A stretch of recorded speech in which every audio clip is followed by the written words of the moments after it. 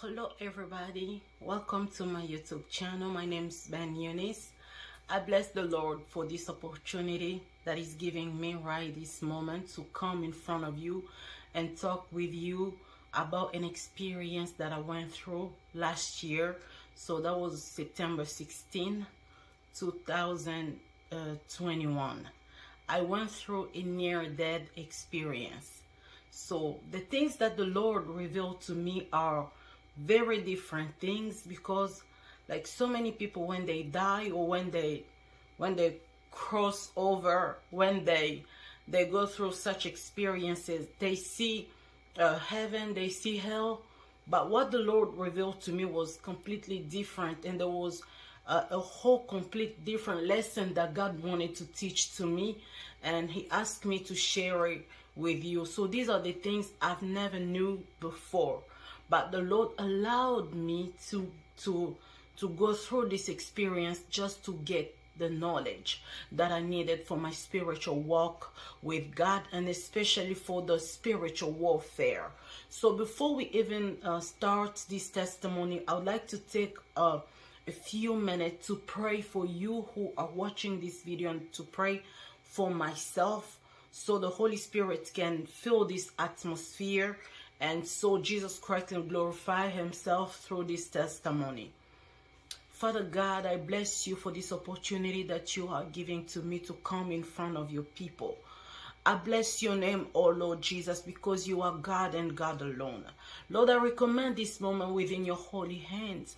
I pray, oh Father God, that you talk to us, you speak to us through this experience of mine. Lord, I pray that you fill me with your Holy Spirit and you fill each and every of your children who will be connected to watch this video with your Holy Spirit. And I pray that your Holy Spirit work in miracles and wonders in each and everyone's life. Hallelujah. Oh Lord Jesus Christ, I take authority to rebuke all evil spirits anything that doesn't that doesn't uh, stand on the truth of god in the mighty name of jesus christ hallelujah. Father god i pray oh lord that around this time let your holy spirit glorify jesus christ within everything that will be said in here. In the mighty name of jesus christ i pray. Amen amen amen so i'm coming back to my testimony. I'll start from the the first beginning how everything started because you need to know something. Uh, there are signs there are things that happens around us. Those are um, those are the signs that god is giving us about something happening in the spiritual realm. So first of all my husband had a dream where i drowned in the water so there was like a flood. There was a flood and i drowned in the water and he was i was calling for his help. I was asking him to to come and help me but he couldn't help me because in that dream he found himself in a position where he didn't know how to swim. So he couldn't get in the waters to get me in the river. And I myself had another dream around that time. I just don't remember the dream, but I also had like a, a strange, a really strange dream. And so we got together with my husband in prayer. We started praying, asking God to just to hold us, to, to keep us safe from anything, anything bad that could happen. So on the very same week, on the very same week, um, I was driving my car. My car was uh, very, very good in such a good condition. My car died. So we thought that was the battery or something like that. But the problem was really major. We, we, we, we tried to fix the car, but nothing worked. So nothing worked. And I took my husband's car to go to work and that car um, I don't the battery died again. So I was really um, asking myself what's going on? How come everything around me is dying? You know what i'm saying? Uh, so i asked myself i was like well this car was was good. Mine was broken but my husband's car was good. And i took it to work and when i arrived to work everything was fine but by the time i wanted to get back home the car wouldn't start so that that concerned me. I was really concerned about um, what was going on there. So I was like, God, what is going on? How come everything is dying around me? Like my car was broken. Took my husband's car. My husband's car uh, broke again. So what is going on? I couldn't understand what was going on. And then when um, I was also having some issues at work. I was having a lot of issues at work. And there was just a lot going on at the at the same time. At the same time a lot was going on. So when we uh we reached or we when we reached september 16 i prepare my kids to go to school in the morning. My husband went to work and i went back to bed to sleep. Around that moment something happened to me. So i really want you to open your eyes um about this um about this that i'm gonna talk right now. Just open your eyes because just like i say in the beginning these are the things most of us do not know. Maybe you you did know about this but i never knew about this because this is a revelation about witchcraft black magic in uh, our families around us. That was the the main purpose that god allowed me to go through this experience so he can teach me something that happens uh, when you have people practicing witchcraft near you when when uh, people want you dead but not god you know so i went to bed uh, to sleep that was around um, 9 a.m that was around 9 a.m and by that time, my beloved brothers and sisters, so somebody rang at my door. I had to go uh, respond, but now I'm back. So I was saying, as I was saying, um, about that time, I my, my, my children went to school and I went to bed to sleep. And I was having a dream. So it wasn't a dream, but I was sleeping, but I could see what was happening there, although I was sleeping. So I know spiritual, like people who are spiritual are really going to understand what I was going through. Some people would say a sleep paralysis.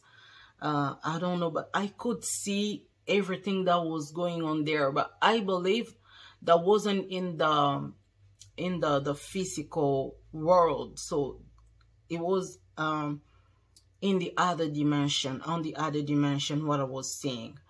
Uh, I, be, I, I was seeing three of my family members, which I know very well, very well.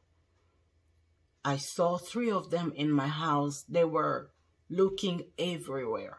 They were opening the the cabinets. They were opening uh, drawers. They were opening um, my fridges. They were opening anything in the house that can be open. So they were opening and they were looking for something, but I didn't know what what uh what were they looking for. So right there in my sleep, I was trying to like to come out of it, so to to wake up to see if I was uh dreaming or that was real because it felt really, really um, vivid. That was vivid. It was like something that was happening right that moment. But I couldn't wake up. I couldn't wake up. I was still conscious. Um, all my senses, like all I could hear, see was um, getting really, really stronger, stronger.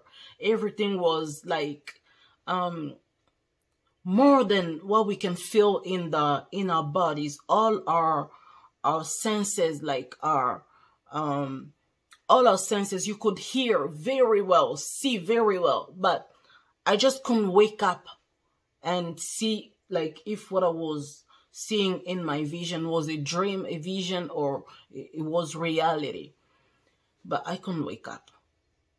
And about that time i saw one of the people who was searching in my house. Now there were three people two female and one male both of them my family member. Yeah my family members. So the male had a gun. So he pointed a gun where i was sleeping and i was very weak. I was very weak about that moment. So i couldn't run away i did all i could to run away but um I couldn't. So I was like frozen. I couldn't wake up. I couldn't do anything. I was just there lying down. So that family member, the, the, the male one, shot me. So he shot me at my left leg. He shot me again in my heart and he shot me on my head. And about that time, I didn't know um, that I was dead.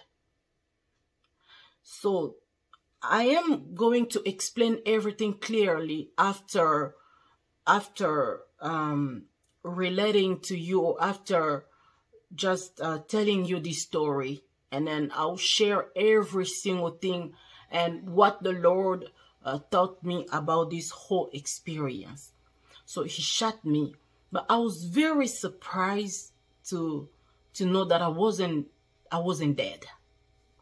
You know just the way i was lying down i could see my blood my blood um flow. My blood my blood was uh, flowing. I could see the blood.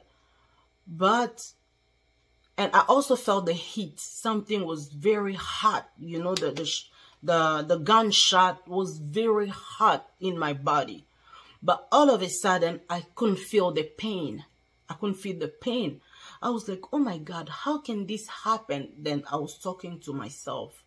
I was saying, how can this happen? But how come I got shot, but I'm not dead? I'm still talking. I thought I was dead. And I was saying, look at the blood. Look at the blood, but how come I'm not dead? This shot was vicious. How come I'm not dead? So I was saying that, not knowing that I was already dead. So my body was dead, but my soul wasn't dead because the soul never dies. Your soul will never die. So, and I didn't even know that I was already dead. No, I didn't know I was dead. So I just came, I stood up, but because um I was in the spiritual realm, because the the spiritual realm uh, comes first, like comes before anything um in the material world, in the physical world. So the time is in advance in the spiritual realm. That's the first lesson that I got from from this experience. So where I was at, I could see the things to come in few hours or in few minutes. I, I was, uh, I was able, I was able to see the things that that would happen in the next in the next hours or in the next um, minutes. So I was standing there, not knowing that I was uh, I was already dead. I was just standing there, and I was looking at everything. Yeah, I was looking at everything, like I'm looking at everything. Everything seems really um, strange. Like I heard people crying. I heard people crying, but know that by that time I was all alone in my bedroom. So everything I was hearing was the things to come after a few hours on, on the earth. I mean, on earth. Because I was already in the spiritual. My, my, my soul separated with my body. So I saw my husband coming from work and he found me dead I was laid down and my husband was crying in the dream. Like, I mean, not in the dream. I would say dream all the time because, you know, but it wasn't in the dream. So I saw my husband like crying, crying. And then he was saying, wake up, honey, wake up. I cannot live without you. I, I really felt the pain like of my my my children that I left behind, my husband. I really felt the pain and how I saw my husband like crying, how I saw my husband sobbing. So I stood there and I saw my husband calling the, the paramedics.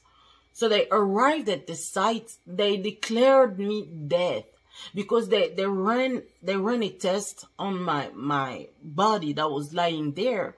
They took um, a cotton swab, they put it in my nose or in my mouth, and the blood was already um, gray. The blood wasn't red at all. The blood was gray. Then my I mean my uh, like a knowledge came to me so I was like, oh my God, this is dead. So where I'm at right now, I'm not in, I'm not on earth. Like where I'm at now, I'm on the other dimension. So that's why as my husband was crying, I was coming to him to tell him, oh, uh, I'm here. Why are you crying? But he couldn't see me. He couldn't see me. He kept on crying and sobbing. So he was just crying. And when I I noticed or when I got the knowledge that I was uh, I wasn't anymore in the physical world, by that time everything went far away like everything moved away. So the the hearing sense i had the vision and um, so everything that i could see in this world went far away from me. Like i don't know how to explain in english. Um for those of you who are watching i'm french speaking. Uh, um french is my first language. So like most words I know are in French and I can't just find them easily in English. So I'm doing my best to share this experience, but I'll try. So all the, um, all my, my work, my, all my senses, my, I mean, my physical senses, like to, to see what was happening in the world, to hear what was happening in the world was going far away from me in like, in, in seconds. Like, that image just disappeared.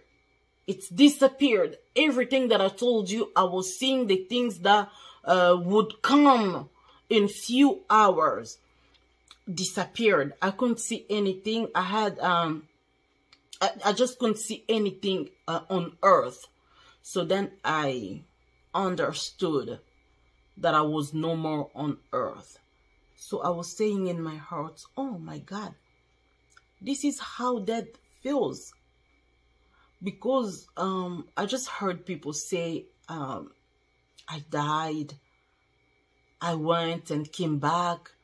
I was like man death doesn't exist. That, that was the first thing my, my first impression.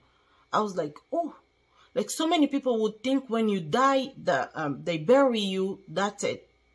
It's the end of life. No what I learned that day was a human being is an eternal being, is an eternal being.